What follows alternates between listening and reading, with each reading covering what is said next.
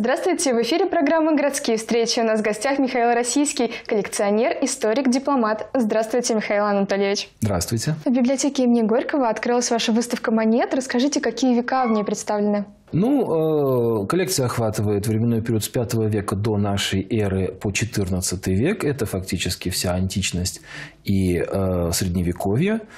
Э, посвящена она цивилизациям Средиземноморья. Это в первую очередь э, эллинистические царства, империя Александра Македонского, его наследников Диадохов, э, Римская республика, потом плавно перетекшая в империю, ну и ее средневековая наследница Византия.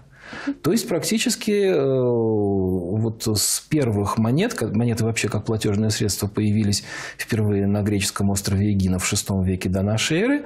Ну, таких древних у меня нет, к сожалению. Но пятый век до нашей эры Сиракузы, да, есть. Вот можно прям посмотреть э, на этой выставке в витрине.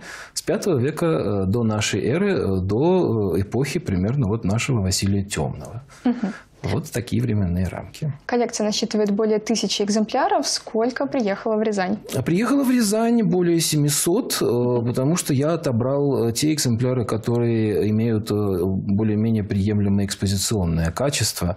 Вот. То, что плохо смотрелось бы в витрине, я не стал выставлять, но монет больше. В общем, комплектование коллекции продолжается, так что, может быть, с течением времени появятся новые какие-то звезды этого собрания. Какая самая древняя монета в вашей коллекции?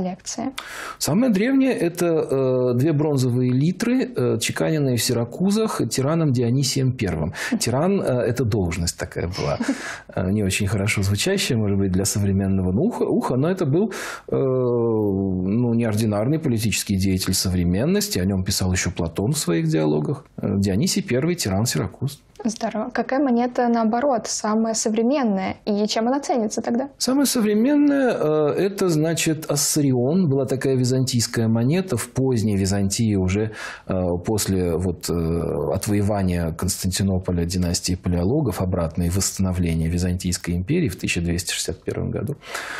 Э, Ассарион в память о римских ассах. Они вспомнили вот э, о древнем наименовании бронзовых денег.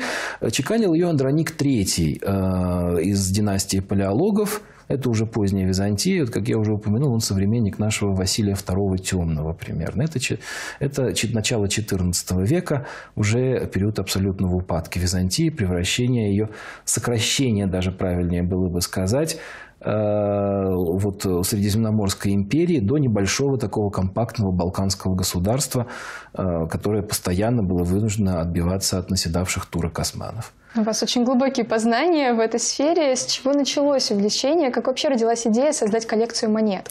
знаете, честно вам скажу, меня всегда привлекал античный портрет. Uh-huh. Психологизм античного портрета.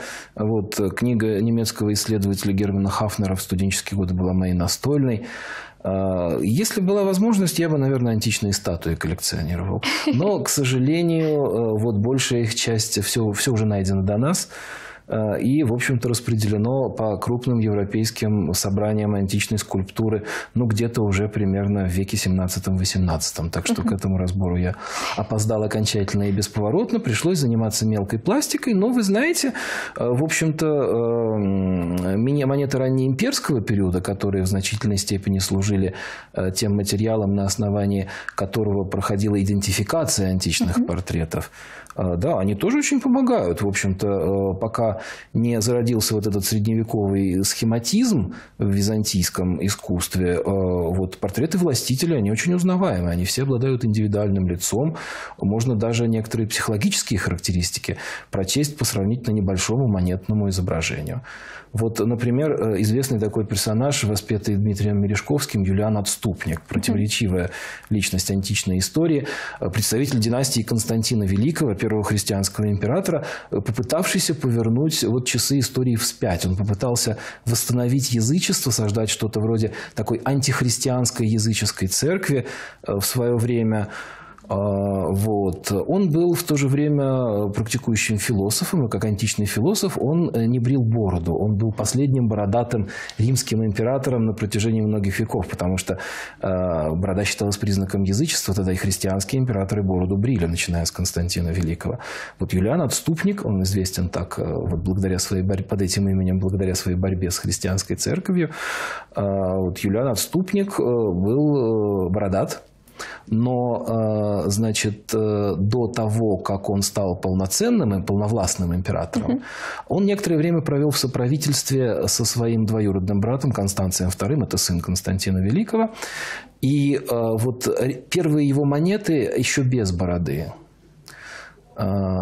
И это, знаете, такое волевое лицо – он прославился, когда был Цезарем, то есть вторым со, со, соправителем, вторым соимператором в Галлии. Его направил двоюродный брат, надеюсь, что наседающие на границах Франки и Аламанны, значит, э, с ним покончат. Но э, он э, провел ряд блестящих военных операций.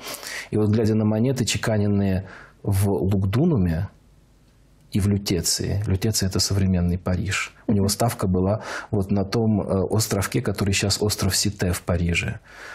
Э, видно, что это лицо волевого полководца на самом деле. То есть за этой вот бородой философа скрывалась железная воля. Если бы он не погиб в 363 году на Персидском фронте, от случайного удара копья, еще неизвестно, как бы пошла мировая история. Процарствовал бы он, допустим, лет 15-20. Ну, вот такие нумизматические памятники он по себе оставил, которые теперь можно видеть в Рязани, в витрине, э, прекрасно оборудованной витрине в помещении музея книги э, Рязанской областной универсальной научной библиотеки. Как удается находить такие ценности в нашем современном мире? Нумизматический рынок европейских стран. Приходилось раньше путешествовать. Э, вот долгое время мне доводилось по силу профессиональных обязанностей проводить в Испании, в Италии. Э, также за монетами специально выезжал в страны Южного Средиземноморья, в Тунис, в Турцию, например где, допустим, много очень византийской чеканки до сих пор встречается просто в земле. Э, ну, сейчас, конечно, нумизматический рынок очень эволюционировал. Сейчас э, можно приобретать себе новые экспонаты, участвуя, допустим, в аукционах в интернете. Э, вот в Германии это организовывается, в Чехии. Но есть и обратная сторона медали, к сожалению. Вот активно работают в последние десятилетия бригады фальшивомонетчиков, специализирующихся на античной нумизматике. Вот, в основном из балканских стран, Болгария, угу. возможно, Румыния. Э, видел примеры из Украины, кстати говоря, очень хорошие работы по качеству.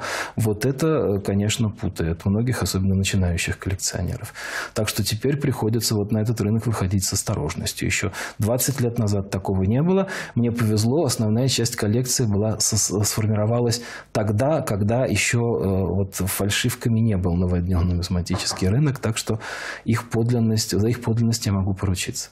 Фальшивки – это изобретение современности или в том древнем мире тоже делали фальшивые деньги? Что вы, конечно, не современности. Фальшивые деньги, они появились примерно тогда же, как и настоящие. Но э, их принципиальное отличие, э, они не содержали драгоценного металла или содержали его в меньшей пропорции, чем официальные выпуски.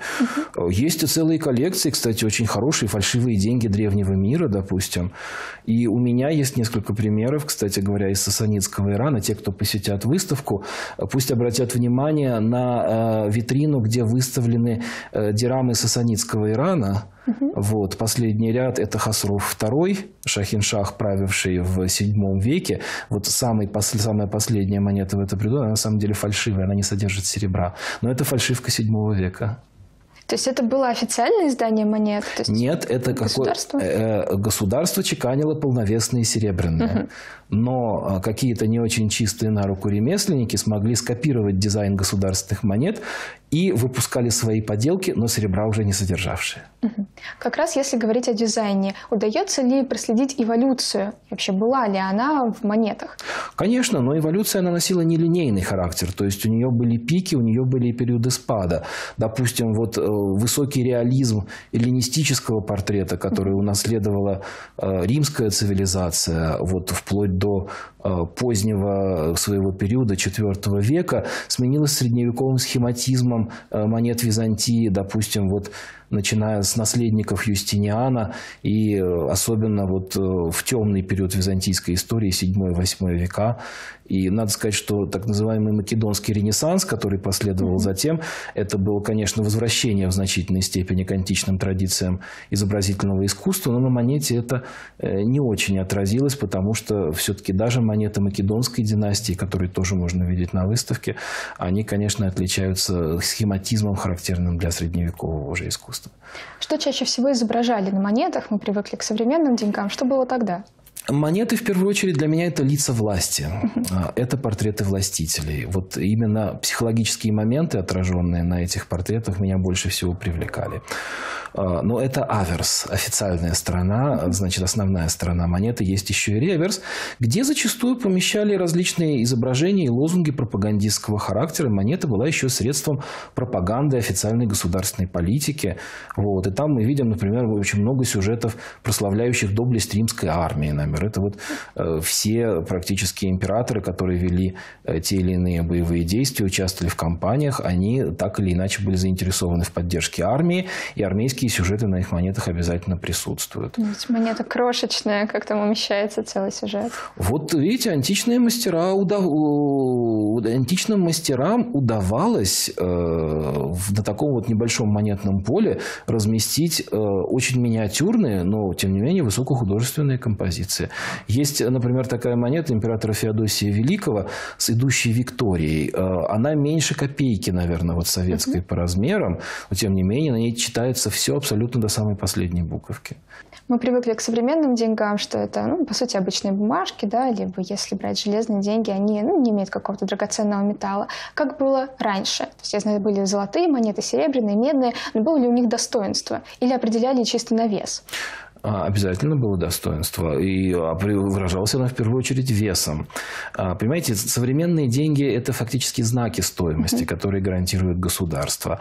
А в древности определяющим моментом, да не только в древности, в Средневековье, в общем-то, и вплоть до новейшего времени, где-то вот до 19 века, определяющим моментом было содержание драгоценного металла. То есть монета, она была ценностью сама по себе. Это был не только вот такой вот эквивалент да, для обмена, для товарного товарного обмена. А, это был еще и, в общем-то, ценность сама по себе.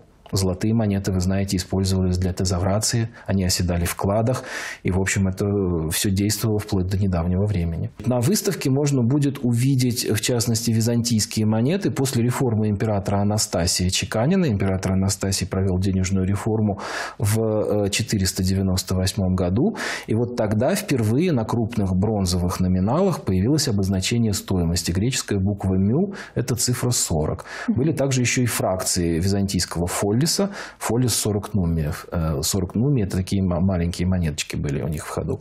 Вот. Были, значит, большие фоллисы по, по 40 нумиев, полуфоллисы по 20 нумиев, э, по 10 и еще по 5. Вот стоимость их обозначалась греческими буквами, которые имели также численное значение. И это все можно видеть в византийских витринах в библиотеке имени Горького. Требовался ли обмен монет? А, ну, золотая монета, ведь она золотая и в одной стране, и в другой. То есть приходилось ли менять деньги? Деньги, или можно было расплатиться я вам больше скажу, на каждом рынке в античном городе сидел, значит, за столом такой меняло, который разменивал деньги из драгоценных металлов на деньги из меди э, или бронзы. Э, как я уже говорил, золото в основном использовалось для хранения накоплений каких-то, вот для тезаврации или для каких-то крупных платежей. А в повседневном, в, в обиходе, в общем, использовалось серебро и мелкая бронза. Вот на них-то в первую очередь и разменивали золото, причем курс золота колебался. Фактически вот византийский солид, это был, ну, примерно как доллар у нас в 90-е годы. А, вот, только единственное, он обладал реальным золотым содержанием. Как много времени потребовалось для создания коллекции? Ух, ну коллекционирование это же дело всей жизни. Так что вот единожды начав, уже невозможно остановиться. я, считаю, да? я считаю, что я еще не закончил, так что я еще в пути. Рязанцы первые, кто видели эту коллекцию, или она уже где-то была? Нет, это второй опыт. Э, первый был в 2017 году в Национальной художественной галерее Йошкар-Олы. В Республике Мариэл э, отмечался большой интерес к искусству, в том числе э, античного периода и Ренессансу. И, надо сказать, получился очень удачный опыт, потому что вот моя коллекция плюс те предметы античного быта, которые привезли из Испании мои друзья испанские коллекционеры для временной демонстрации в формате этой выставки. Получилось, что это первый раз в истории Республики Мариэл в ее выставочном пространстве э, демонстрировались вот какие-то античные артефакты. Здорово. До какого числа рязанцы смогут полюбоваться на монеты? В Рязани выставка будет э, ну, до января следующего года, так что даже в вот, новогодние Э, празднества, столицей которых в общефедеральном масштабе, насколько мне известно, будет Рязань, можно будет эту выставку посетить и насладиться всей прелестью античного портрета. Спасибо вам большое за интересную беседу, за прекрасную выставку, которую вы привезли в наш город. А нашим зрителям я напомню, что в гостях у нас был Михаил Российский. До новых встреч!